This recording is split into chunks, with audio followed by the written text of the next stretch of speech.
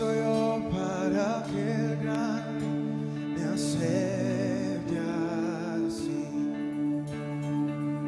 Me encontró en mi pecho.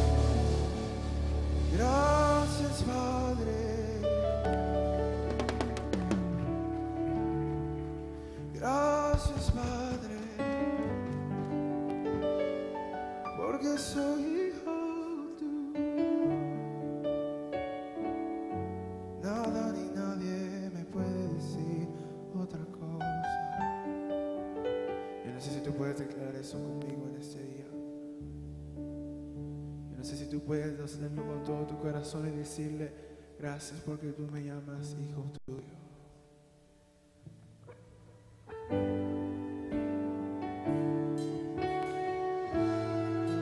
Gracias Padre por ese precio que tú pagaste.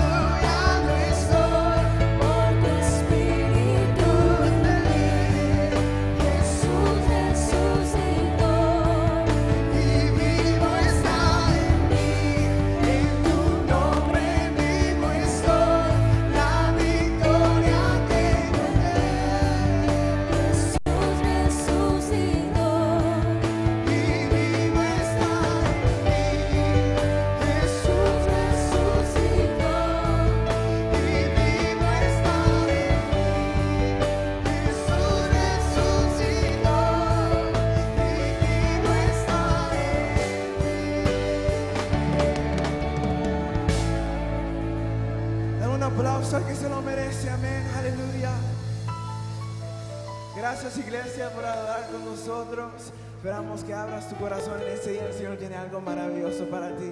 Dios te bendiga.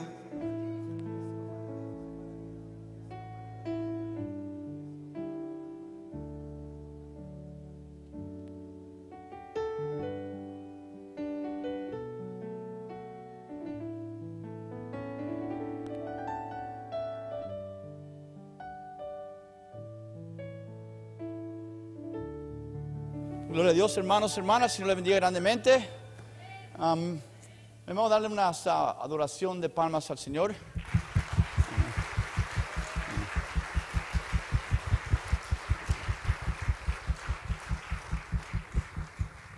Gloria a Dios, tome sus asientos, por favor.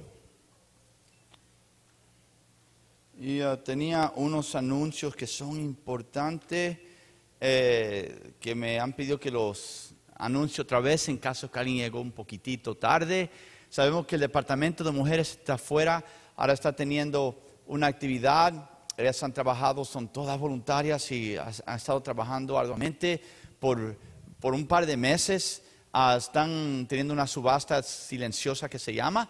Eh, básicamente, ah, puede ir allá a ver lo que, que lo que están ofreciendo y a la tarde el que gana se lo- le van a decir quién es. Usted pone ahí su oferta, pero si usted gana, tiene que comprarla por lo obvio.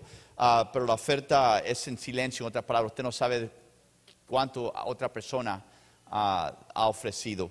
Y tienen ahí muchas cosas, pueden salir afuera. Y la razón que estamos a, bueno, ellas estado, han estado trabajando arduamente, pero no sé si han podido notar un poco que no tenemos todas las cámaras. Hemos dicho por mucho tiempo que las cámaras están muy viejas. Ya se nos fue otra, nomás nos quedan dos y son dos del lado, así que está muy limitado lo que se puede enseñar. Necesitamos 50 mil dólares para el puro enganche, el puro enganche. Y nomás para recordarle, ah, básicamente una cámara de las que vamos a tener que, agarrar eh, con una cosa y otra sale de 30 a 40 mil dólares por la cámara, no la instalación, no en el aparato donde se pone la pura cámara. Una, la cámara cuesta eh, aproximadamente 25 mil dólares y el lente, los más baratos para unas cámaras son de 10 mil y en otras cámaras más lejos, eh, uno hasta 40 mil dólares costó el puro lente. Así que estamos hablando de una cámara de 65 mil dólares y eso no incluye cables, no incluye, entonces es un sistema muy caro, pero la cosa es que Dios, si pudimos comprar esto cuando había una congregación de menos ingresos, mucho más pequeña de lo que teníamos entonces, en el año 96, yo estoy seguro que Dios nos va a suplir lo que nosotros necesitamos para eso y viene de nosotros. Entonces, amén. Den gloria- digan gloria a Dios. Amén. Ok, no está muy convencido, pero amén.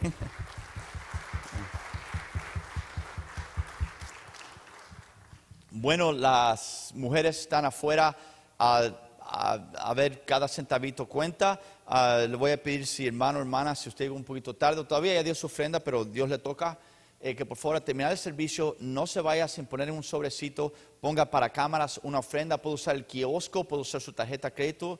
Es muy importante que nosotros eh, levantemos este dinero.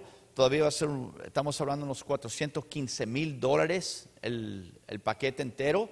Y eso es cortando bastante cosas que hemos cortado que ya no, no hay mucho más donde se pueda cortar. 415 mil dólares y sería un préstamo por cinco años, que si usted hace los números va a ser un préstamo extremadamente alto. Así que hermanos, vamos a ponernos, Dios, no, Dios nos quiere bendecir. Amén. Vamos a ponernos agresivos, lo que Dios le ponga en su corazón. No se vaya de aquí hoy sin dar una ofrenda especial. Lo que Dios le ponga en su corazón, hágalo. Y otra vez, no estoy diciendo ningún número, lo que Dios le ponga en su corazón, nos faltan aproximadamente 25 mil dólares y tenemos que, después de eso, para dar una idea, cuando firmemos el contrato, no es como si uno va a Best Buy, el mismo, dame esta, esta, esta, y no. Es un proceso, mucha ingeniería.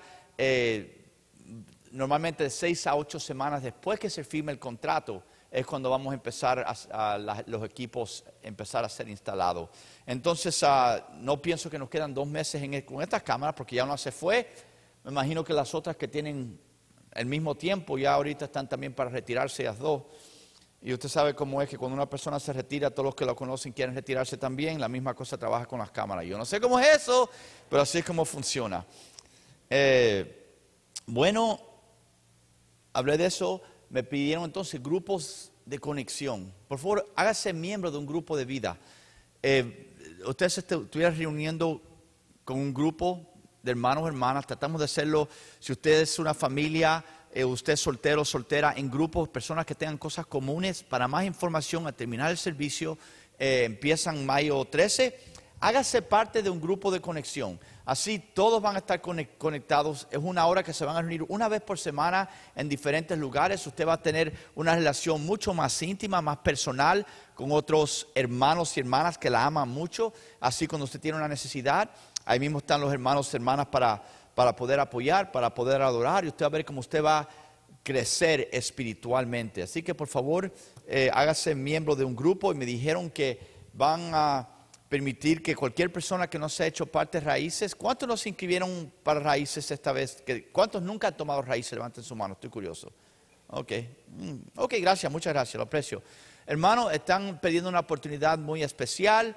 Es para que usted tenga una relación mucho más íntima, más cercana con, con Dios.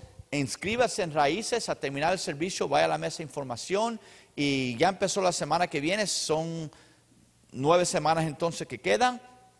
Y usted eh, se va a reunir aquí jueves a las 7, de 7 a 8 y 15, a 7, 8 y 15, 7, 8 y media, algo así, am, una vez por semana, y usted va a ver, si usted con un corazón alegre hace esos devocionales, usted va a ver cómo usted va, va a ver cómo usted va a tener no solamente más fe en Dios, sino una relación mucho más íntima, porque usted va a estar en uno de los ejercicios orando por tres horas y medio, para que usted vea cómo Dios sí nos quiere hablar. Así que sea parte de eso, no desprecie esta oportunidad. Amén. Ok, pienso que ya lo cubrí todos los eh, anuncios que me pidieron que otra vez que lo diga. Y ah, también el jueves a las 12 en la ciudad de, Bellflower. Ahí atrás puede agarrar más información con el website de nosotros. Eh, van a tener el, es el, Día Nacional de Oración. Ah, yo voy a tomar una parte ahí con la ciudad, es a las 12, pero hermanos, hermanas, le voy a pedir un favor. Este, este jueves de 7 a 8, este jueves, aquí nosotros vamos a tener un servicio de una hora, una hora nomás. El servicio va a ser en inglés, pero voy a pedir su apoyo. Vamos a orar, va a ser un servicio con adoración, no es de predicación, es or- eh, adoración y oración, una hora. Pero le vamos a pedir que, que vengan, queremos apoyar, nunca hemos tenido algo eh, para el departamento de inglés y siempre estamos limitados. Este lo tomamos como una oportunidad, vamos a tratar de, de pasar información, pero no queremos que, venga, que alguien venga por primera vez a la iglesia y que no haya nadie aquí. Entonces, hermanos, aunque usted no, no, no entienda inglés, por favor, Dios entiende su idioma cuando vamos a estar aquí orando, amén. Así que este jueves empezamos a las 7, terminamos a las 8, una hora nomás. Vamos a estar aquí, el servicio va a ser inglés, vamos a estar orando por el país y obviamente si usted también eh, siente la inspiración, usted puede estar orando por el país de donde usted vino también, porque si usted está viendo aquí, este es su país ahora también. Entonces nosotros vamos a empezar orando primariamente por donde vivimos nosotros y donde están nuestros seres queridos, que, que Dios los proteja y los bendiga y, y use los líderes para tomar decisiones apropiadas. Amén. ¿Cuántos ahora me prometen que van a venir acá este jueves de 7 a 8? Levante la mano. Prometido. Ok, gloria a Dios. Algunas, muchas gracias, lo aprecio mucho. Los otros que no levantaron su mano, ajá. Vamos a tener hot dogs gratis, vamos a tener sodas gratis, vamos a tener chips, pero como no levantaron su mano ya no se les va a dar nada. Estoy, estoy jugando, pero sí, a terminar el servicio vamos a tener hot dogs, sodas y ah, chips completamente gratis. Y así que por favor ah, no vengan que sea esa la motivación, pero tampoco nos dejen con tanta comida también, porque después mm, la próxima vez no voy a poder ir. Van a tener que traer como un barril rodando aquí ah, para el domingo que viene, ah, de todos los hot que voy a comer. Bueno, hermanos, vamos a abrir nuestras Biblias a Juan capítulo 12. Juan capítulo 12. Pongan su, ah, su marcador ahí, ahí.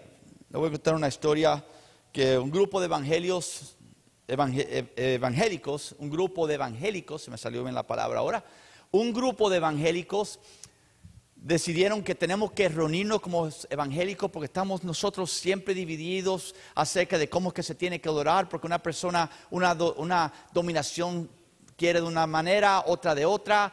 Vamos a, a reunirnos, vamos a tener un día donde nos todos pongamos de un acuerdo.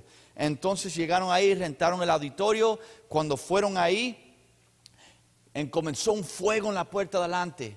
Y rápido, rápido, aunque estaban ahí para unirse, rápido, rápido salió un pastor. Todos los metodistas solamente vengan para acá, para esta esquina. Nosotros metodistas vamos a orar nomás, porque nosotros somos los únicos que Dios escucha. Rápido y se fueron. Entonces los luteranos, los luteranos dijeron, nosotros no creemos que esto puede estar sucediendo en esto.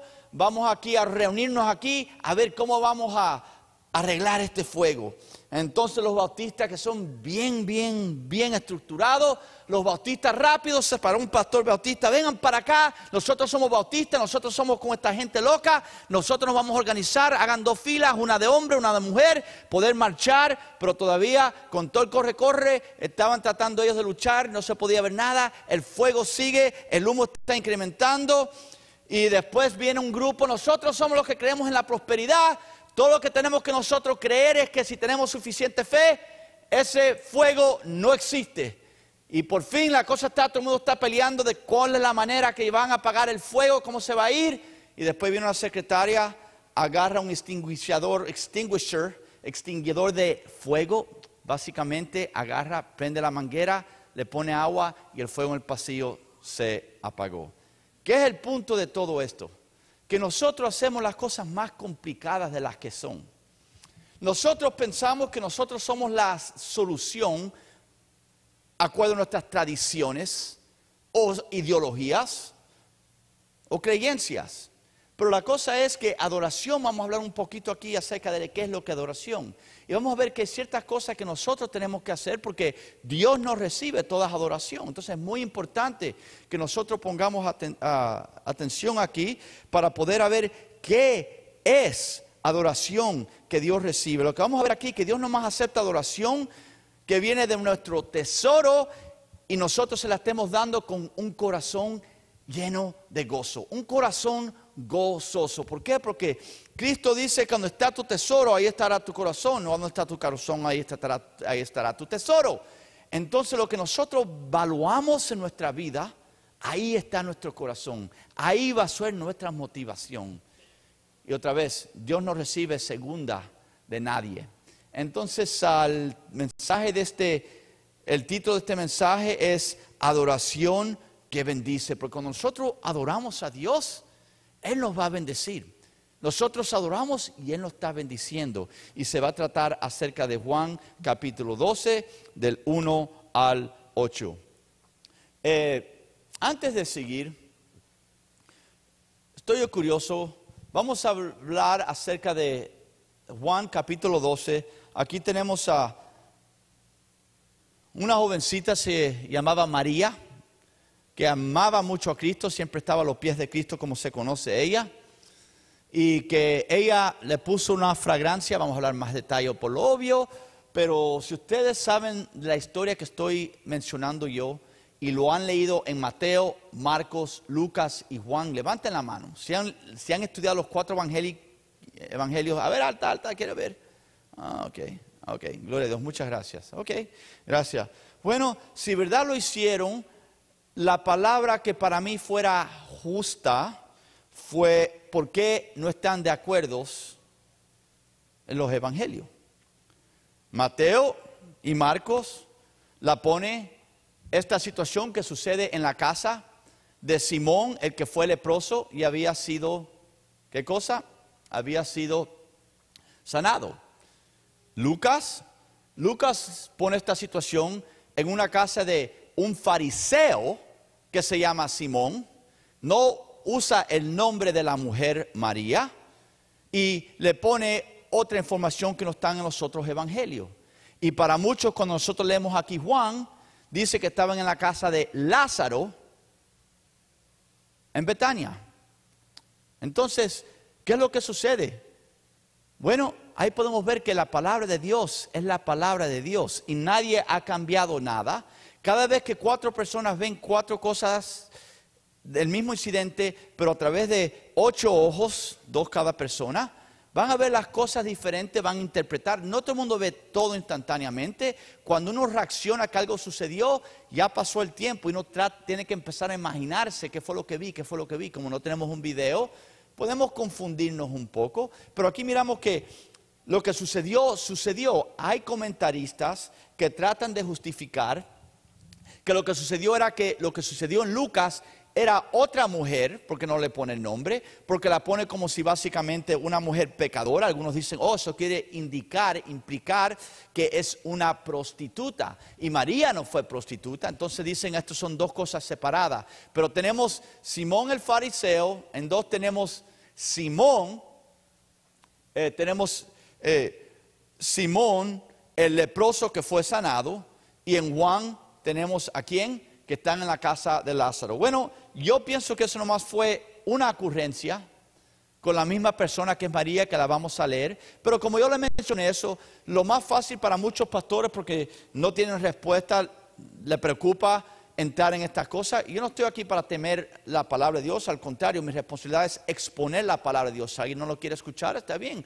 Por eso en este país hay puertas que entran para afuera y también para, eh, y para adentro y para afuera también el que le gusta. Pero yo estoy aquí para explicar y exponer la palabra de Dios. Entonces, ¿cómo es que nos podemos poner juntos? Bueno, básicamente, a lo mejor Simón el fariseo era un fariseo antes y después agarró lepra y Cristo lo sanó. Simón el fariseo Simón también, que fue leproso.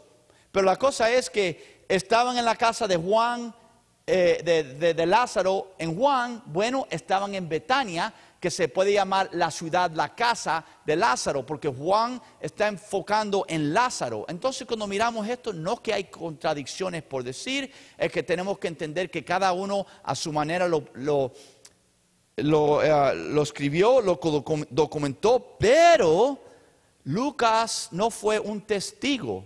Lucas básicamente, Lucas, que era un doctor, un médico, lo que él empezó a hacer, él empezó a entrevistar, tenía mucha educación, como si fuera un reportero, empezó a entrevistar testigos que le dieron esta información y ahí como tenemos el libro de Lucas, por eso tenemos mucho más información que los otros evangelios, porque él fue y entrevistó diferentes personas. Así que ¿Cuántos tenían preguntas antes de Dios responder esta pregunta? Levanten su mano acerca de eso. ¿Cuántos nunca se dieron cuenta que habían estas variedades?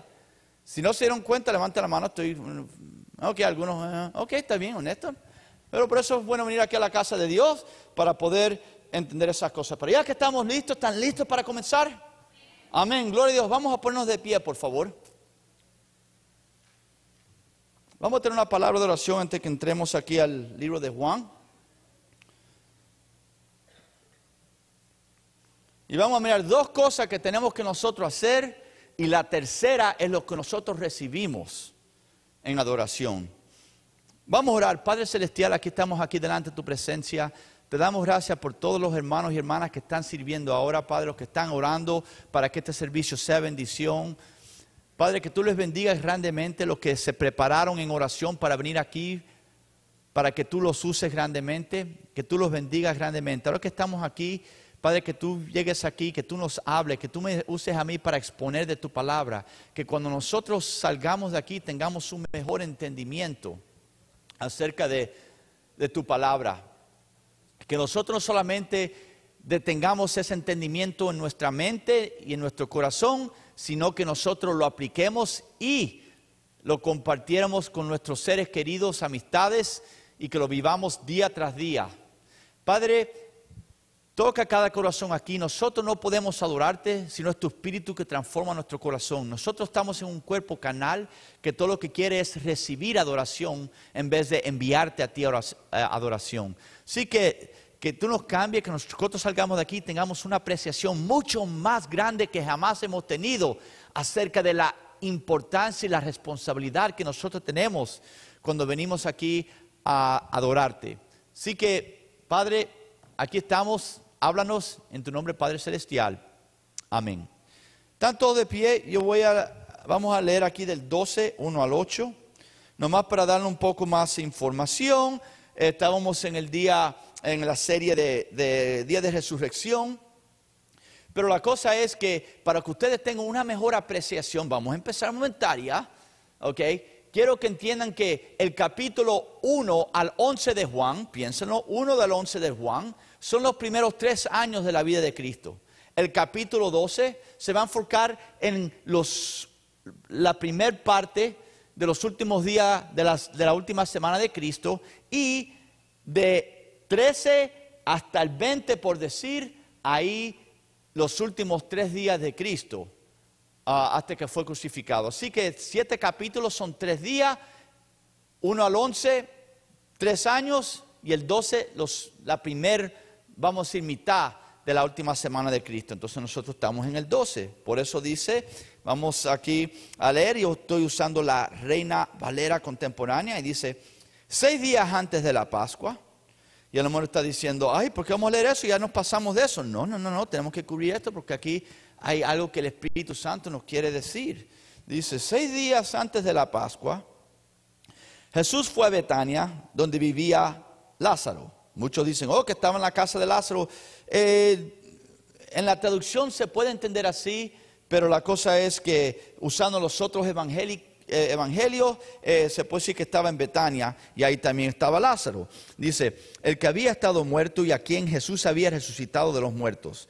Ahí le ofrecieron una cena y Marta servía y Lázaro era uno de los que estaba sentado con él a la mesa. Una traducción mejor dijera comiendo con él a la mesa, pero van a ver por qué es importante en unos momentos. Dice, entonces María tomó unos 300 gramos de perfume de nardo puro, que era muy caro, y con él ungió a los pies de Jesús y con su cabello los enjugó. Y la casa se llenó con el olor del perfume. Y dijo Judas Escarriote, hijo de Simón, que era uno de los discípulos y el que más tarde entregaría a Jesús, dijo lo siguiente en el versículo 5. ¿Por qué no se vendió este perfume eh, por 300 días de sueldo y ese dinero se les dio a los pobres? Entonces nos clarifica aquí el autor Juan que no dijo esto porque se preocupaba de los pobres, sino porque era un ladrón y como tenía la bolsa, sus, traía lo que se echaba en ella. Versículo 7 dice, entonces Jesús le dijo, Aquí viene Jesús. El 7 y el 8 son palabras de Cristo. Déjala tranquila que ha guardado esto para el día de mi sepultura. A los pobres siempre lo tendrán usted, entre ustedes, pero a mí no siempre me tendrán. Tomen sus asientos, por favor. Para nomás tener otra vez un poco más de apreciación, Ahí no importa si era Simón el fariseo, Simón el leproso, el que era, era un dueño de la casa, pero la cosa es que estaban sus doce discípulos mirando a Mateo y Marco, entonces ya tenemos trece gente, estaba María y Marta y Lázaro, bueno, y Jesús, quiere decir que por lo menos 17 personas había en esta casa, por lo menos 17 personas habían en esta casa cuando sucede lo siguiente.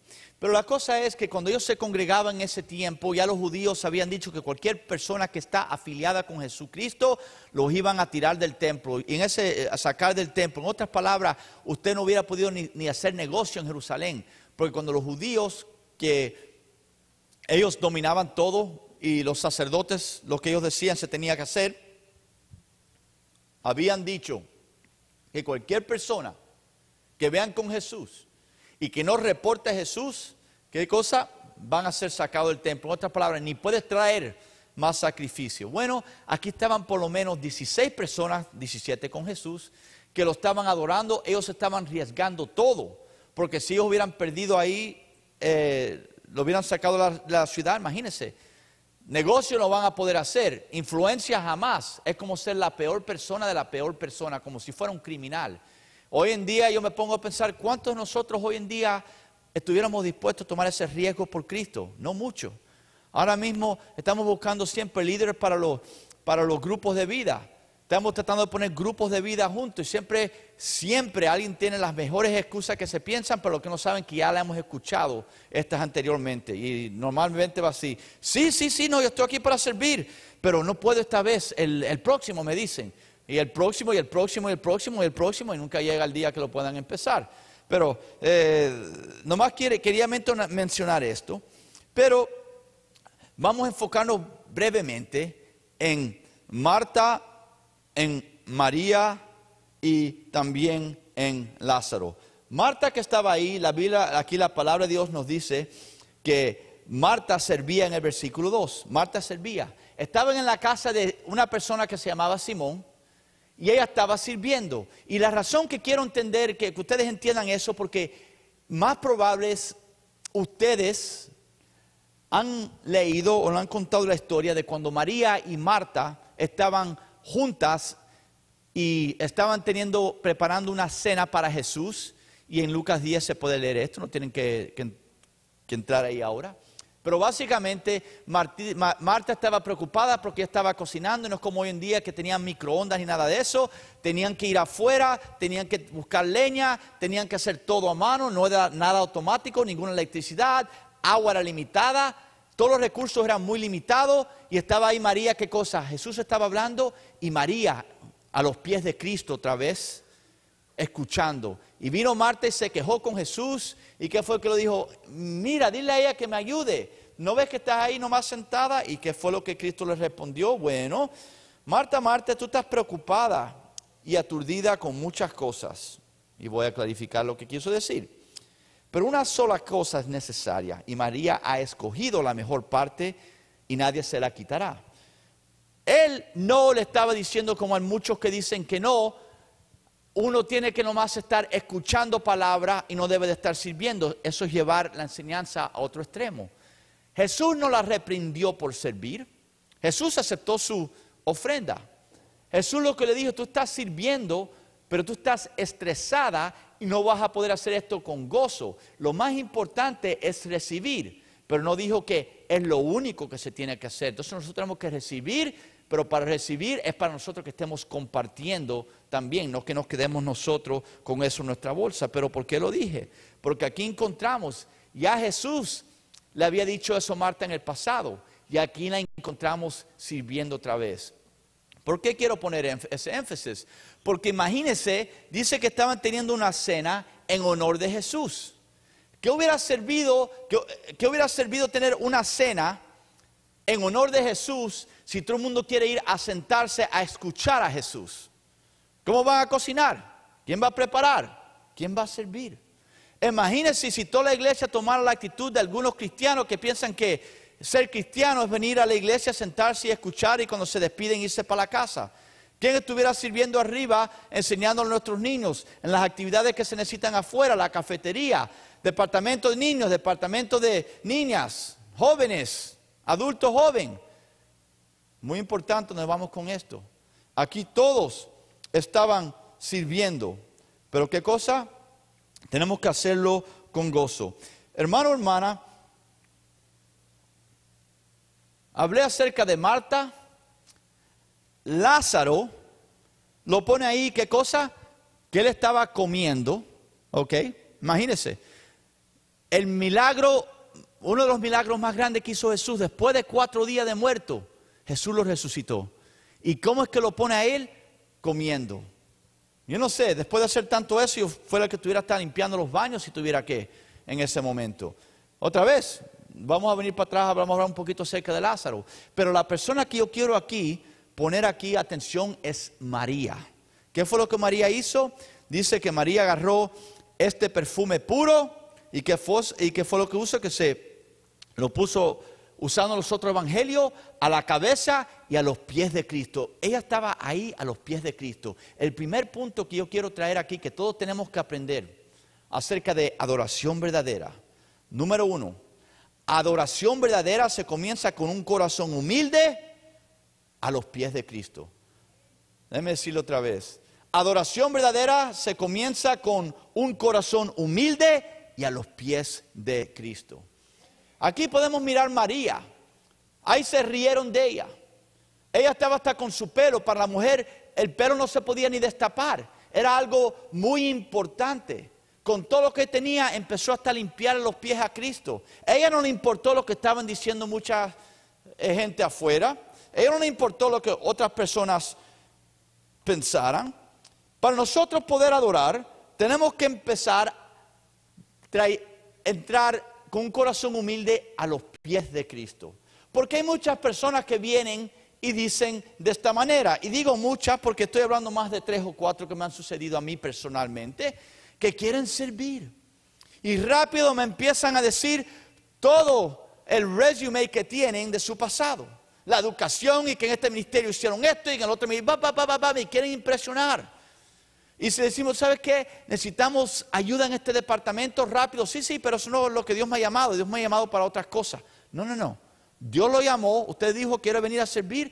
Dios lo llamó para donde Él tiene la posición abierta ahora. No es para que usted le diga al empleador dónde lo van a poner. Pero como nuestro orgullo nos toma el control, nosotros nos pensamos muy especial. Vamos a decir la verdad, como es la sociedad hoy en día. La sociedad hoy en día piensa que se merece todo que cuando nosotros estamos, a ver, ¿a qué restaurante vamos a entrar? Mirar el menú, vamos a oler, si nos conviene, entramos y si no nos gustó, le ponemos en guiado para que nadie venga más nadie jamás a ese lugar. Y tenemos la misma actitud con la iglesia. Voy a entrar a la iglesia a ver si me conviene. A ver cómo los hermanos, eh, eh, eh, al cabo, ¿sabes qué? No, no, no, no. Nosotros somos mejor que esta gente. Vámonos para otro lugar, hermanos para empezar. Nosotros no podemos brincar ese paso. Tenemos que humillarnos a los pies de Cristo. Amén. María. Amén. Dale gloria a Dios.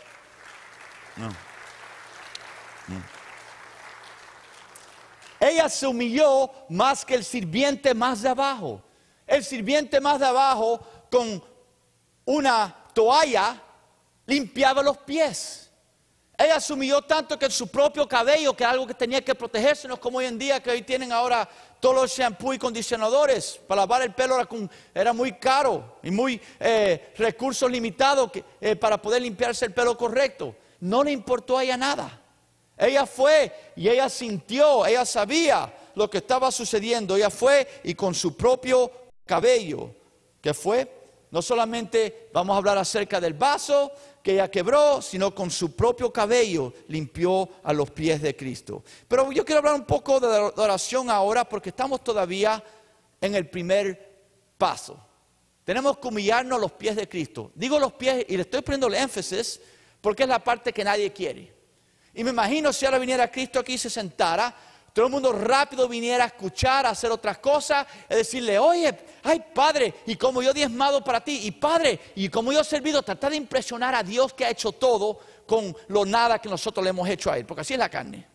Nosotros venimos aquí a la iglesia pensando que somos muy importantes, y Dios no le agrada eso. Tenemos que empezar, otra vez, ¿qué cosa? A los pies de Cristo. Lo más bajo de lo más bajo. Y empieza en nuestro corazón. Amén empieza en nuestro corazón, pero estamos en adoración. Hay muchas maneras que se puede adorar. Eh, una definición que Dios me inspiró a mí de poner aquí, no, es que la leí del diccionario, no la tengo en español, pero eh, la voy a poner en inglés y hablando de adoración, el servicio de inglés, yo dije lo siguiente, que worship should be an outpouring of joy that God has placed in our hearts. Adoración debe ser lo que nos sale de adentro para afuera del gozo que Dios nos ha puesto en nuestro corazón. Otras palabras, cuando nosotros estamos sirviendo, es gozo que nos está saliendo de adentro para afuera. Porque para muchas personas lo hacen como un sacrificio. Lo hacen, ay, si, si, Dios supiera lo que estoy haciendo, como estoy sacrificando. No, no, no, no. Usted, Dios no está recibiendo eso, pare. Tiene que ser con gozo, tenemos que tener ese tipo de actitud. Pero número uno, estamos hablando de oración, hay muchas maneras de adorar. Número uno, adoración número uno siempre que ser, tiene que ser dirigida a Dios. Jesús le dijo al diablo, Mateo 4:10, cuando el diablo estaba tentando, al Señor tu Dios adorarás y a Él solo servirás. Al Señor tu Dios adorarás y a Él solo servirás. Entonces tenemos que venir, ¿qué cosa? Que toda la adoración es dirigida a qué? A Dios. Porque ¿qué es lo que la carne quiere hacer? Eh, pastor, usted me ha visto a mí de voluntario por tanto tiempo, mira cómo estoy limpiando. Ah, oh, usted ha visto a mi hija, qué linda canta ahí arriba, debe ponerla más seguida. O a mi hijo, Y, y mi esposa y yo queremos cantar un himno especial. Bueno, para mí suena que usted quiere agarrar la atención y eso es lo que básicamente está haciendo, dirigiendo a usted y no a Dios. Entonces, para comenzar, adoración comienza que tenemos que dirigir todo, ¿qué cosa? A Dios. Otra vez, a los pies de Cristo primero. Segunda, en Juan 4 dice que Él quiere que lo adoremos en espíritu y en verdad. Espíritu y en verdad, disculpe.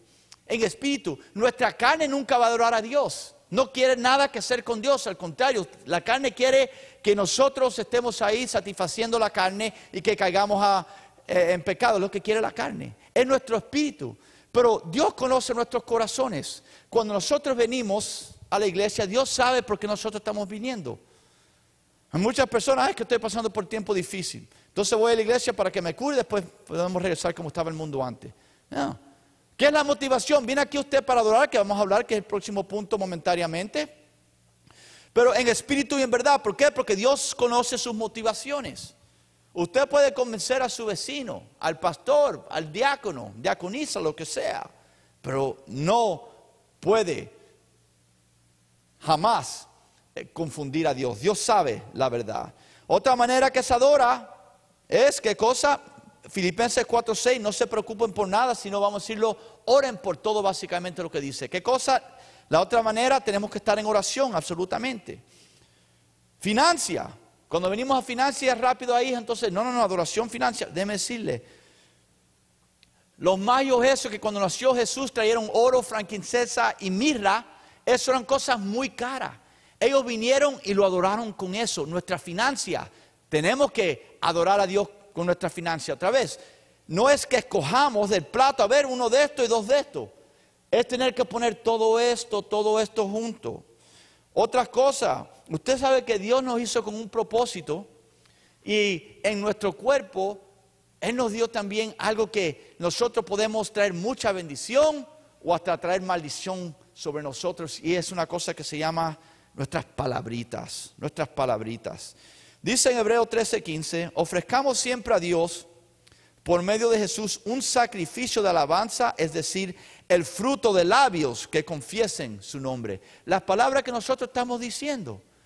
¿Qué es lo que estamos nosotros haciendo diariamente? Adorando a Dios o desagradando a Dios. Depende de qué es lo que estamos pensando, qué es lo que estamos diciendo. ¿Qué es lo que está nuestras palabras diciendo, Padre, te glorifico, Dios te bendiga? O siempre, eh, que, te que te maldija. Siempre usando palabras que nosotros, ay, se me salió esa palabrita. Y siempre se me salió y se me salió. Dice la palabra de Dios que cada palabra que nosotros digamos vamos a tener que darle cuenta hasta en el cielo delante de Él. Otra vez es adoración. ¿No ve que es un poquito más diferente? Nosotros pensamos que adorar, vamos a ver. Si ahora yo le pregunto a una persona, ¿qué es lo que es adoración? Oh, la música. Hasta ahora ni he llegado a la música, pero yo sé que como muchos están pensando eso, más en el cristianismo de las iglesias más modernas hoy en día, cuando dicen vamos a tener un servicio de oración, básicamente es un concierto lo que quieren decir. Y esta es una, la última, se encuentra en Salmo 100 y es la música, otra manera de orar. Dice que canten alegres al Señor, habitantes de toda la tierra, canten alegres al Señor. Lo dejé esto para lo último porque quiero poner un poquito más de contexto. Porque usted puede ser un cantante, un líder de adoración y alabanza, puede escribir, tener centenares de cantos cristianos que usted ha escrito y todos fueron platino doble. Se vendieron 200 mil copias de cada su CD y Dios no ha recibido ni una palabrita de sus cantos. ¿Cómo puede ser esto? Otra vez, hay cantantes hoy en día que la atención es sobre ellos y para ellos. Ellos quieren decir, soy cantante de adoración, pero dame tanto, dame tanto. Como recientemente un grupo, lo digo, esta es, este, este es la iglesia que Dios me ha dado. Me, me, me, me despierta, no es que una sorpresa, pero pastor, estamos aquí, somos un grupo, llamó una persona representándolo, nosotros estamos para servir a Dios en lo que usted quiera, si tenemos este tiempo libre, pudiéramos ir para allá y... a eh, y usted nomás que nos ayude con una ofrenda de, amor. Ok, está bien, bueno, yo quiero hablar un poquito más detalle. Bueno, una ofrenda de amor, rápido, rápido me llaman para atrás. Oh sí, pero la ofrenda de amor tiene que ser 3.500 dólares por mínimo. Necesitamos dos hoteles, dos vuelos y tenemos que tener comida y un carro de tal Y esto pasó hace más de dos semanas atrás. Le dije, con todo respeto, hasta ahí esta conversación. I'm sorry. Y no lo dije muy directo, pero yo pensaba que ustedes querían estar aquí para servir pero piensa que ustedes quieren que nosotros los sirvamos ustedes, porque yo no voy a pedir a la iglesia mía que me huele de un lado del país al otro y que me pague todas estas cosas y después que me dé 3.500 dólares para yo venir aquí a hablar 20 minutos. Así que lo siento, no lo vamos a hacer. Bueno, música, tenemos que tener cuidado. Y hoy en día hay muchas iglesias que siempre están peleándose unos con las otras. Porque ¿qué es lo que es música que Dios reciba? Bueno, hay algunos pastores, y lo voy a decir como es, que por celo y envidia, porque no tienen muchos miembros y como no tienen músicos, empiezan a atacar a todas las otras iglesias que no, no, Dios no está recibiendo eso porque mira los instrumentos que tienen, mira los cantos que están cantando y lo que quieren es que la congregación piense que la manera de ellos adorar, que es él y su esposa y a lo mejor su hijo o hija de 7, 8 años, es la única manera que Dios recibe la oración. Tenemos que tener cuidado y por eso fue que dije lo que dije hace un momento atrás. No dice cómo tenemos que cantar, no dice los cantos que se tienen que cantar. La Biblia dice son los últimos son los únicos cantos que se pueden usar en adoración y aquí están las notas, las notas y los instrumentos. Si no tenemos que adorar a Dios con todo. Pero tengo que calificarlo. Primera de Corintios eh, eh, primera de Corintios 14, 40, si están tomando notas. Siempre y cuando todo se haga decentemente y con orden. Primera de Corintios 14, 40. Déjame decir otra vez. Decentemente y con orden. Esa es la palabra de Dios. Cuando nosotros queremos hacer un desorden en la casa de Dios, Dios no le agrada nada de eso. ¿Qué es lo que estamos haciendo nosotros? Estamos siendo un estorbo a otra persona que quiere adorar todo el mundo nos está mirando a nosotros porque piensa que nos están dando un ataque al corazón porque estamos haciendo cosas que no son fuera de lo común. No es lo que se hace en la casa de Dios. Está bien levantar las manos, adorar absolutamente. Pero cuando nos vamos fuera del orden, ¿y qué es lo que es eso? Cuando todo el mundo lo está mirando a usted, a lo mejor usted está haciendo algo que está fuera de orden. Déjelo para la casa. Ay, no es que yo vivo en un apartamento. Bueno, entonces vaya al desierto y puede gritar todo lo que usted quiera. Lo digo con respeto y amor y gracia. Pero en la casa de Dios decentemente y con orden. Amén. Decentemente y con orden. Pero no es que termina ahí. Yo le dije ciertos ejemplos. Pero para ponerlo todo junto, compresar todo junto, a mí me gusta como Romano 12 lo pone. Dice, les ruego por las misericordias de Dios que se presenten ustedes mismos, aquí viene, como un sacrificio vivo, santo y agradable a Dios, y así es como se debe adorar a Dios. Sacrificio vivo, nuestra vida entera. Santo, tenemos que estar santificados los que somos perfectos. Por no estar siempre involucrados en el pecado, siempre evitar el pecado. Y agradable, porque es todo lo que Dios recibe. Entonces, ¿qué es lo que es adoración? Aquí le dije María, Marta y Lázaro. No están en un templo, no están en una iglesia, no están cantando cantos, ¿qué es lo que están haciendo? Básicamente están listos para eso. Adorar a Dios es lo que está en nuestro corazón. Cuando nosotros estamos con nuestra familia y estamos poniendo a Dios primero, estamos adorando a Dios. Ah, entonces no tengo que ir a la iglesia, no tengo que diezmar. Bueno, es como decirme, come dos granos de arroz, ya no tengo que comer más nada. Eso es una cosa. Cuando usted tiene su negocio y usted está haciendo todo legítimo, que eso le trae y le agrada a Dios, no solamente usted está adorando a Dios, Dios va a bendecirnos su negocio.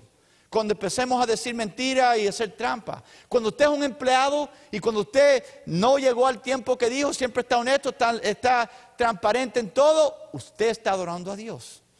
Lo que está pensando, como usted vive, básicamente adorar a Dios no es una cosa que sucede en la iglesia, más lo que sucede cuando no estamos en la iglesia y mucho más cuando estamos en nuestro tiempo solo. Otra vez, eso es lo que Cristo acepta, es la única adoración, adoración verdadera. Otra vez comienza que qué con un corazón humilde a los pies de Cristo. Amén. Ese es el primer punto nomás. Nos quedan dos más, ¿listo? ¿O ya nos vamos para casa? Ok, no le vamos a hacer que bueno. Ok, gloria a Dios. Bueno, si empezamos ahí, tenemos que seguir para adelante. ¿Cómo no va a empezar una carrera y parar cuando está empezando la cosa? Esto se va a poner mucho más interesante. Porque nosotros somos culpables cuando estamos aquí en el púlpito y muchas veces los líderes de adoración, ¿qué es lo que dicen? Hermanos, ¿cuántos vinieron aquí para recibir algo? ¿Qué es lo que nosotros pensamos que vamos a la casa de Dios? Para recibir, todo para mí. Eso no es adoración. ¿Qué es lo que dijo? Lázaro estaba comiendo. ¡Wow! ¿Quién fue la que, la héroe de esto? María. ¿Qué fue lo que María hizo? Ella quebró su vaso y se lo puso sobre Cristo. Pero todavía, para poder apreciar, si lo dejara así, no vamos a entender lo que sucedió aquí. No lo vamos a entender para nada. Porque ese vaso para las mujeres en ese tiempo, y era una cosa cultural, era algo que costaba mucho dinero. Aquí miramos, Judas dijo un año de salario. Hoy en día, póngale 50, 52 mil dólares más o menos un vasito de perfume de 50 a 52 mil dólares. Un año de salario, 300 días, así que un año y medio, porque 365 días, póngale todos los días que tuvo que trabajar. Algo bien caro. En la Biblia, más probable, porque lo que nosotros podemos ver, no menciona nada de la mamá de, María, Marta o Lázaro. Más probable ya había fallecido. Y lo que hacían las mamás, le daban un vaso de un perfume que para ellos fue un sacrificio obtenerlo y en el día que ella consuma su matrimonio, cuando se va a ir con su esposo, ella lo abría por primera vez, y una vez nomás se podía usar, y se lo ponía en su cuerpo para que tuviera una fragancia y la casa oliera muy linda para el primer día de matrimonio. Una vez. Otras palabras, esa era toda su inversión, su tesoro, lo que la mamá le dio. ¿Y qué fue lo que hizo ella? Lo pensó, ah, ah, ah, lo quebró y enseguida ungió a Cristo. El segundo punto que quiero clarificar, hermanos, adoración verdadera, adoración que nos traiga bendiciones, mejor dicho, eh, eh, no es lo que nosotros podemos sacar de Dios, sino que es lo que nosotros podemos darle a Dios. Y lo voy a decir así. Se trata de lo que nosotros podamos ofrecerle a Dios, no de lo que pudiéramos nosotros sacar hoy de Dios. Porque muchos vienen a la iglesia, ay, que Dios me bendiga, yo estoy aquí para recibir. Es lo que hacen en el mundo. Nos hacen pensar que cuando nosotros entramos a un servicio o a una tienda, nosotros somos los que estamos sacando la ganancia. Pero verdad, ellos no están sacando los dólares. Y nosotros venimos acá y queremos recibir. Entonces, hermanos, adoración, ofrecerle a Dios una ofrenda, ¿ok? No que pudiéramos sacar hoy de Dios, porque es como nosotros pensamos, nuestras oraciones, nuestros pensamientos, cómo Dios me puede en comillas bendecir. No, ¿qué es lo que yo puedo hacer para el cuerpo de Cristo? Y ves cómo empezamos correcto. Eh, me imagino que a lo mejor alguien ya le está picando. Ya le está picando. Porque no, a mí no me gusta ese tipo de doctrina. A mí me gusta cuando Dios me da lo que yo quiera. Yo lo pido, yo lo creo y tiene que ser así en el nombre de Jesús. Bueno, tenemos cuidado, eso no es adoración. Y usted se va a preparar para una decepción grande si es la teología que usted está viviendo, porque no es bíblica. Pero entonces, venimos María. En el versículo 4 sale otra persona, Judas. Judas, el que traicionó a Cristo. Nadie aquí es un Judas, yo sé, nadie quiere admitir un Judas. ¿Qué es lo que rápido dijo Judas? Ay, ese dinero, tanto dinero, hubiera sido mejor que lo hubieran dado los pobres. ¿Y qué fue lo que quiso, le dijo Cristo cuando Judas dijo eso? Man, qué buena razón, Judas, wow, mira, high five, dame tu mano, vamos a recoger lo que podamos nosotros, mapearlo, ponerlo en el vacío y aunque sea agarrar una parte para atrás para los pobres. ¿Qué fue lo que dijo Jesús?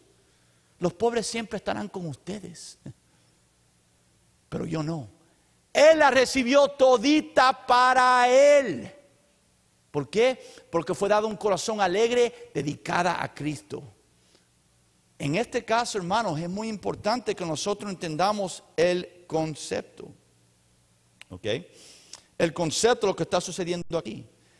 Mentiroso y ladrón. Eh, comencé a propio intento diciendo que esta es la última semana de la vida de Cristo. Vamos a poner esto aquí. El lunes. Para jueves Cristo va a ser crucificado. Ustedes saben lo que Cristo dijo acerca de Judas tres días después. Bueno, en Juan 17 lo llamó el hijo de perdición.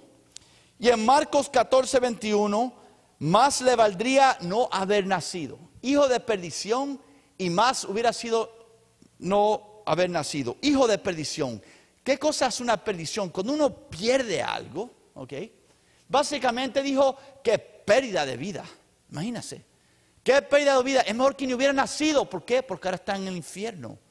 No estoy juzgando, yo estoy leyendo lo que dice la palabra de Dios. Claramente, si hubiera sido mejor no nacido, que terminó en el infierno. Qué triste. Bueno, en los otros evangelios, Mateo y Marco, clarifica que cuando él dijo eso, los otros discípulos rápido se pusieron de acuerdo con él. Porque lo que sucede cuando alguien entrega a alguien a Dios, las fuerzas satánicas se enfurecen y rápido vienen los demonios y el diablo para atacar con todo. Y el diablo sabe que nosotros, lo que dice otro, nosotros lo repetimos y lo creemos y todo el mundo se convierte negativo de un momento para otro. Qué triste, con el que Cristo iba a llamar hijo de perdición hubiera sido quien hubiera sido, ni hubiera nacido. Hmm. Bueno, hermano, yo sé que nadie aquí quiere ser un Judas. Pero usted sabe que sí todavía tenemos Judas en las iglesias. No digo Maranata, digo en la iglesia, voy a decir en la iglesia internacionalmente. El pastor le pone, Dios le pone inspiración al pastor. Cuando el pastor la trae, que lo que rápido empieza la gente, ay, ¿por qué tanto dinero? Eh, con tanta pobreza que, vamos a decir, Bellflower. ¿Por qué una iglesia que se está gastando tanto dinero? Mejor lo hubiéramos hecho otra. Oh, hermano, le voy a decir por qué. Porque Dios quiere lo mejor para él. ¿Ok? Ustedes saben que este es el templo de Dios y Dios no le agrada verse un templo deshaciéndose. ¿No me creen? Yo sé que hay alguien que me va a dudar, pero vamos conmigo a 8.25 porque mira el carácter de Dios. Aquí vamos a mirar el carácter de Dios. Éxodo 25. Éxodo 25, del 1 al 8. Aquí estaba el pueblo de Israel en el medio del desierto, no tenían nada, en el medio del desierto, guiados por Dios, todavía no habían llegado a la tierra prometida. Dios le dice a Moisés, me vas a hacer un tabernáculo. Todo lo que ellos tenían es lo que se, lo de Egipto le dieron porque eran esclavos. En otras palabras, todo lo que tenían ellos es lo que estaba ahí. ¿Y qué es lo que Dios dice? Es lo que me puedan. Miren lo que Dios le dice a Moisés. Versículo 1, Éxodo 25. Dios le habló a Moisés y le dijo, dile a los hijos de Israel que tomen una ofrenda para mí la tomarán de todo aquel que de voluntad y de corazón quiera darla. Primero vamos a parar ahí. Dios nos da a nosotros oportunidad de ofrendar. Él no nos exige. Él no quiere que nadie se sienta que, wow, le voy a dar a Dios estos cinco dólares porque entonces eh, acabo, ya, ya, estoy invirtiendo en el cielo. No, no, no, no hermano, cinco dólares ni para un latte se puede comprar en Starbucks, ya están a seis pesos y pico. Así que por favor,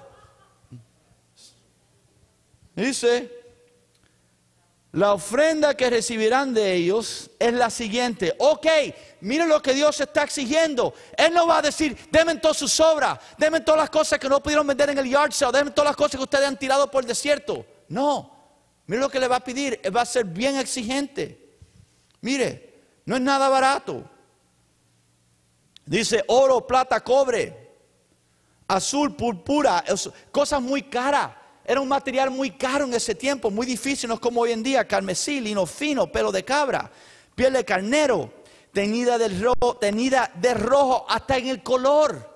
Él no dijo la que sea. Al cabo, Dios hubiera ido y hubiera pintado un rojo tan perfecto. Él no nos necesita a nosotros. Son oportunidades que nos está dando a nosotros. Vamos a seguir para adelante porque no termina ahí. Dice, piel de delfín, madera de acacia, aceite para las lámparas. Aceite, eso es caro. Usted piensa que gasolina es caro hoy en día. En ese tiempo, ¿dónde iban a sacar el aceite ellos? Iban a ir aquí al, Home Depot a pedir aceite. ¿Cómo lo iban a hacer? Está en el desierto. Dice, especias para el aceite, la unción y para el incenso aromático. Piedras de ónice, piedras de engaste para el efod y para el pectoral. Y harán un santuario en mi honor y yo habitaré en medio de ellos. Y dice, y el diseño del tabernáculo y de todos los eh, eh, utensilios, utensilios lo harán todo en conformidad con todo lo que yo te muestre. Él hubiera podido decir, al cabo, hey, pongo una tela y eh, yo hago los restos. Hermanos, nada ha cambiado. Dios es el mismo ayer, hoy y por todos los siglos.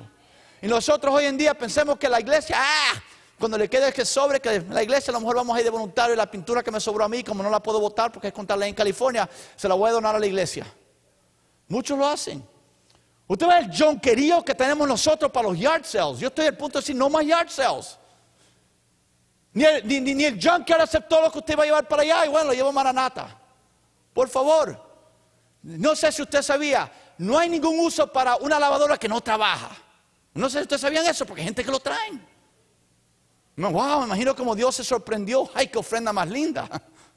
Qué triste, avergonzoso. Hermanos, pero rápido, ¿qué es lo que hace el diablo? Saca sus fuerzas y sus fuerzas rápido usan a alguien y ese alguien utiliza. Pero ¿usted sabe por qué es? Hebreos 4.12, vaya conmigo. Hebreos 4.12. Muy importante, vamos aquí a correr un poquito. Hebreos 4.12. Mire lo que dice. Hebreos 4:12. Para ser más rápido, encuentren Hebreos 4:11 y después sigue el 4:12. Dice, la palabra de Dios es, mire, viva y eficaz. Es viva, nos habla. No una cosa que alguien puso ahí está muerta. El Espíritu Santo nos habla. Usted puede leer el mismo versículo hoy y mañana le habla diferente porque Dios sabe su situación. Es viva.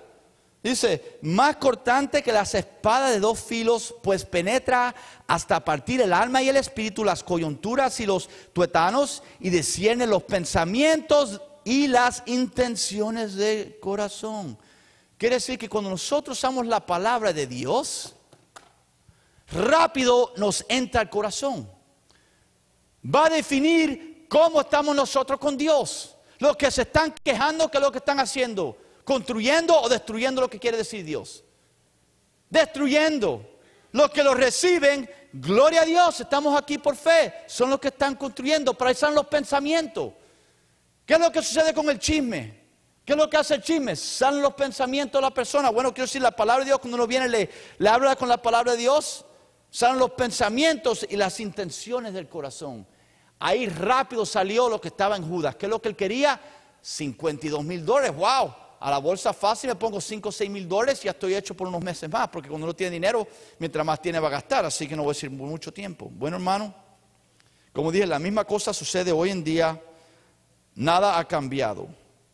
Pero aquí tenemos María, que dio todo lo que tenía, su tesoro, dio su tesoro, ¿y qué fue lo que sucedió? Que Dios la recibió. Nosotros siempre tenemos que darle a Dios lo mejor y con un corazón lleno de gozo. Mateo C21 él dice, donde está tu tesoro, ahí es también tu corazón. No donde está tu corazón, ahí tu tesoro. ¿Qué es lo que lo motiva a usted? ¿Qué es lo que usted evalúa? Ahí está tu tesoro, es lo que Dios quiere.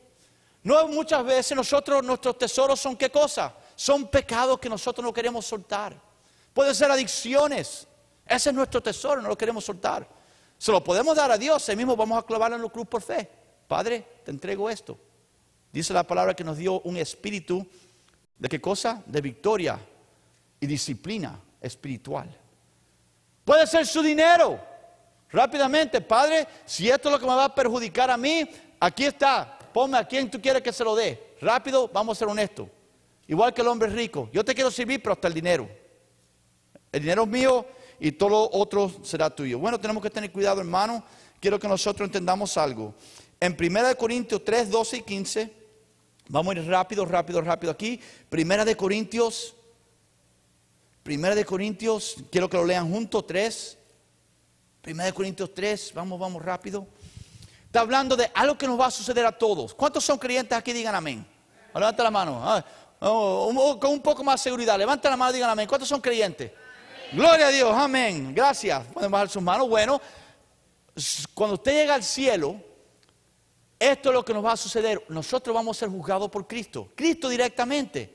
No para ver si se equivocó y nos va a al infierno, sino que es la recompensa que justamente, porque Dios es justo, nos merecemos. Mira lo que dice versículo 12.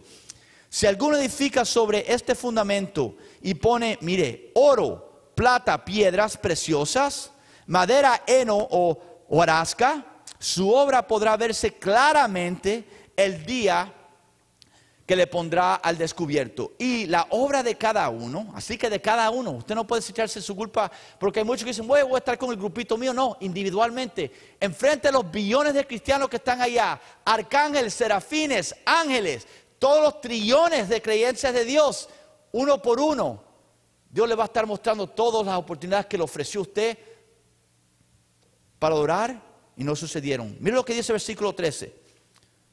Su obra podrá verse claramente. En otras palabras, van a ver sus pensamientos y todo lo que estamos pensando nosotros. ¿Ok? Y ah, dice, y el día la pondrá al descubierto y la obra de cada uno, sea la que sea, será revelada y probada por el fuego. Si lo que alguno sobre edificó permanece, ese recibirá su recompensa. Si lo que alguno sobreedificó se quema, ese sufrirá una pérdida, así que vamos a perder también. Si bien él mismo se salvará, aunque como quien escapa del fuego. Vamos a parar. Todo lo que usted dijo que hizo para Dios, Él lo va a poner a fuego.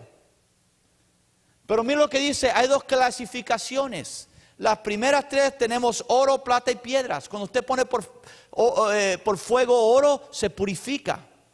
Pero lo otro, madera, heno, hojarasca, ¿qué es lo que sucede? Se consume. Rápido cuando usted pone madera por fuego, ¿qué es lo que se hace? La paja se deshace.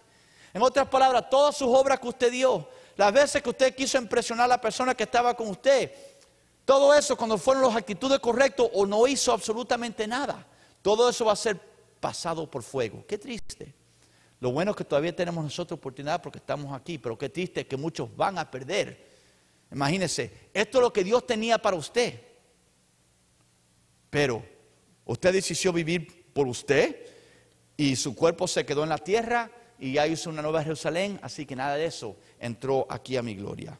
Pero vamos aquí a brincar otra vez a adoración que bendice es cuando nosotros tenemos la actitud que cosa adoración es darle a Dios, darle a Dios, no que pueda sacar de Dios, en todo nuestro pensamiento, como nosotros estamos viviendo.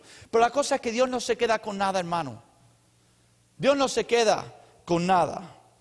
El tercer punto quiero hacer aquí, acerca de adoración que nos bendice, es lo siguiente. Cuando nosotros nos humillamos los pies de Cristo, cuando nosotros estamos para entregarle a Él lo mejor que nosotros tenemos y todo lo que nosotros tenemos, Él no se va a quedar con eso. ¿Cree? Dios no necesita su dinero en el cielo. ¿eh? No, no, eh, eh, no tiene que estar comprando cosas como nosotros aquí compramos cosas porque mañana se nos ponen viejas. Él no necesita un carro nuevo, contamina. Él no tiene que estar caminando con ropa como la que nosotros tenemos, que si no lavamos después de un día está todo sudada y apestosa. Está en un cuerpo glorificado. Él no nos necesita, créame. Bueno, pero es lo que sucede. Él siempre, cuando lo hagamos con la actitud correcta, y el tercer punto es, siempre recibirá nuestra adoración, siempre recibirá nuestra adoración otra vez con el corazón correcto. Y esto es lo que sucede. Él la regresará con una fragancia más dulce que solo el Espíritu Santo puede hacer.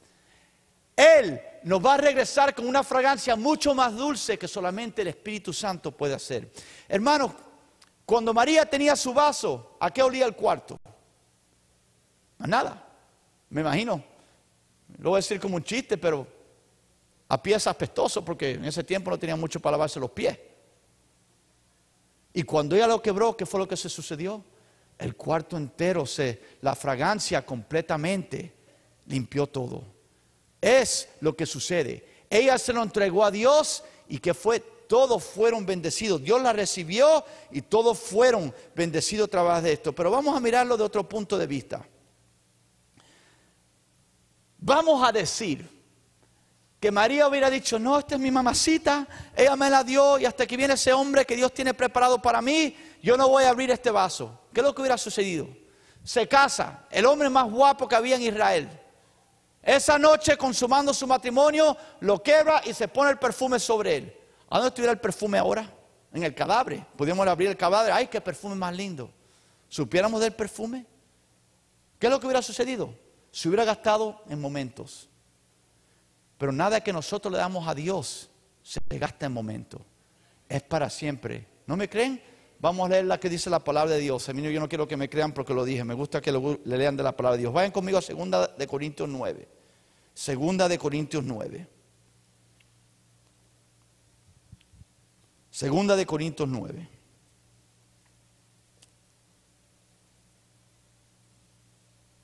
Vamos a mirar del versículo 6 al 8 y le vamos a poner más énfasis al versículo 8. Dice, el que poco siembra, poco cosecha. Y el que mucho siembra, mucho cosecha. Dice, cada uno debe dar según se lo haya propuesto en su corazón. Otras palabras, Dios le pone algo en nuestro corazón lo que quiere que nosotros hagamos, no solamente dinero, servir, muchas cosas, dice. Y no debe dar con tristeza, ni por necesidad, ni por que Dios ama, eh, eh, ni por necesidad, porque Dios ama, perdón, porque Dios ama al que da, eh, Dios ama a quien da con alegría. Cuando nosotros estamos dándole a Dios, no es bueno, si no digo, voy a quedar mal. No, es con alegría. Dios me está dando una oportunidad de servir, gloria a Dios, de dar ofrenda, gloria a Dios. ¿De qué más? De limpiar los baños, gloria a Dios, qué oportunidad. Porque mire lo que sucede aquí en el versículo 8. Porque ¿cuántos creemos que Dios es poderoso? Digan amén. Gloria a Dios, me alegro escucharlo, pero vamos a ponerlo a prueba ahora. Mire lo que dice. Dios es poderoso como para que abunde en ustedes toda gracia, para que siempre y en toda circunstancia tengan todo lo necesario y abunde en ustedes toda buena obra. Como está escrito, repartido dio a los pobres y su justicia permanece para siempre. ¿Qué es lo que quiere decir? Que cuando nosotros le demos a Dios, no solamente nos va a suplir, nos va a dar mucho más, pero nos va a durar por mucho más tiempo. Ese perfume no se terminó hace dos mil años atrás. Aquí dice para siempre. Dios todavía está recibiendo ese perfume, que aunque el cuerpo de ella está muerto aquí y está en la presencia del Señor, esa ofrenda, Dios todavía la está recibiendo. Y ella va a tener una recompensa cuando llegue al cielo. Y esto me recuerda, es como decir, vamos a decir que usted es un campesino. Y viene el vecino, y dice, mira cómo usted tiene tierra te voy a regalar dos toneladas de semillas de sandías. Y lo que tienes que hacer es poner en la tierra. Y rápidamente los cristianos tomaran este punto de vista. Ay, está loco, poner estas semillas tan lindas en la tierra. Y después, ¿qué es lo que voy a hacer cuando se me acaben todas las semillas están en la tierra? Hermanos, cuando nosotros estamos dando a Dios, no estamos poniendo semillas en la tierra, estamos sembrando. Si usted pone dos semillitas, van a salir dos arbolitos. Si vienen los pajaritos, se los comen los dos. Se quedó sin nada. Pero la cosa es que nos da dando las semillas Dios en este mundo porque no quiere bendecir grandemente en la cosecha. Y es como es la vida. El perfume se fue enseguida, la vida se va mucho más rápido de lo que nosotros nos podemos imaginar. Otra vez, hermanos, Dios siempre recibe la oración con los motivos correctos. ¿Y qué es lo que hace Él? La regresa con una fragancia más dulce que solo el Espíritu Santo puede hacer. Lo que nosotros damos a Él, Él lo va a regresar con mucho más y mucho más lindo, un olor y mucha más bendición de lo que nosotros hubiéramos hecho. Pero hermano, más tarde o más temprano, no sé si usted sabe que todos vamos a morir, al menos que estemos aquí cuando venga el rapto. ¿Qué es lo que usted quisiera que Jesús dijera acerca de su vida? ¿Hubiera sido mejor que no hubiera nacido? Hijo o hija de perdición? Porque es lo que dijo de Judas. Judas vivió para él. Judas hizo mucho dinero incorrectamente. Me imagino que lo disfrutó porque le gustaba mucho. ¿Y a dónde está Judas ahora? ¿O prefiere usted que diga como dijo acerca de María, que en cualquier parte del mundo, estamos mirando otro evangelio, en cualquier parte del mundo, mire lo que dijo acerca de María en cualquier parte del mundo donde este evangelio sea proclamado, también se contará lo que esta mujer ha hecho y así será recordada. ¿Ustedes saben por qué los cuatro evangelios tienen esto puesto? Porque dijo siempre, mientras se esté evangelizando, el Espíritu Santo sabía lo que Cristo dijo. Y los cuatro documentaron el sacrificio que hizo María en esa tardecita para Cristo. Bueno, esta semana, no sé si ustedes escucharon acerca de una persona para mí muy jovencita, tengo 53 años, una actriz famosa, lindísima, modelo de las mejores que se están considerando ahora las más famosas, actriz, tenía toda la fama, toda la fortuna del mundo, todo lo que la gente quisiera tener, hasta el esposo, uno de los más guapos que hay, muy, muy rico. La cosa es que ella falleció el mes pasado, teniendo todo lo que este mundo pudiera ofrecer. 43 años, nada le faltaba, al contrario. ¿Y qué fue lo que se terminó esta semana? Que la actriz Stephanie Shirk se ahogó porque se suicidió. Se quitó la vida después de tener todo lo que este mundo puede ofrecer. Hermano, eso es lo que es una pérdida de vida. Dios nos está dando a nosotros una oportunidad para ser contagiosos y infectuosos en qué cosa? En adoración. Cuando ella rompió ese vaso, todo el mundo olió.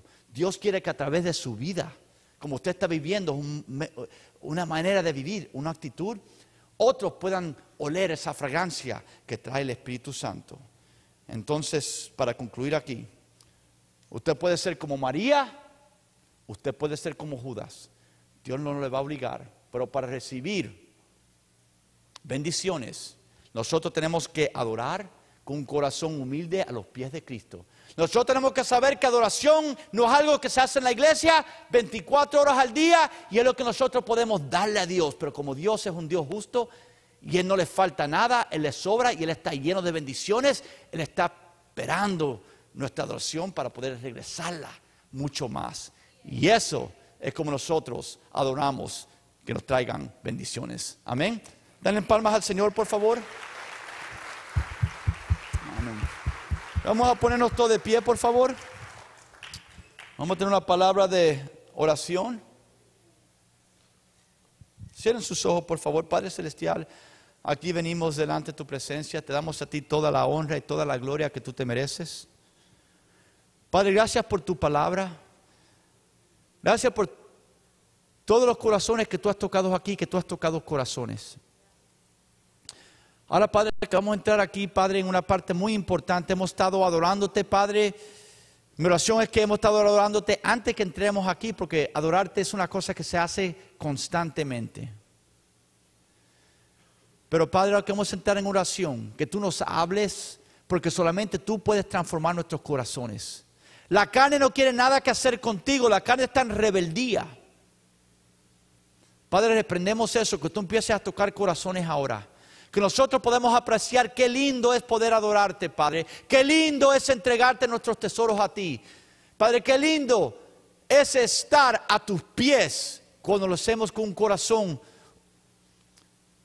humillado delante de ti, Padre. Padre, gracias, Padre, que tú no nos exiges nada. Gracias que tú nos quieres bendecir. Y gracias por tu misericordia, porque muchas veces nosotros decidimos, nosotros merecemos castigo fuerte. Y en tu misericordia, tú nos das tu gracia y nos bendices más y más. Gracias, Padre. Padre, ahora yo oro por cada corazón otra vez.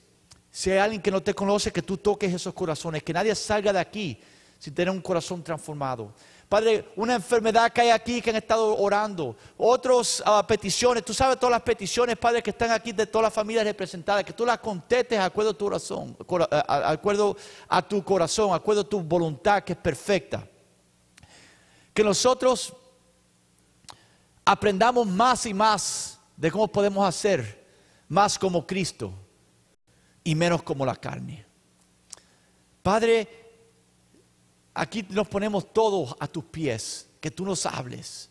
Y cualquier persona que no te conoce, Padre, que tú empieces a tocar corazones en tu nombre, Padre Celestial. Mientras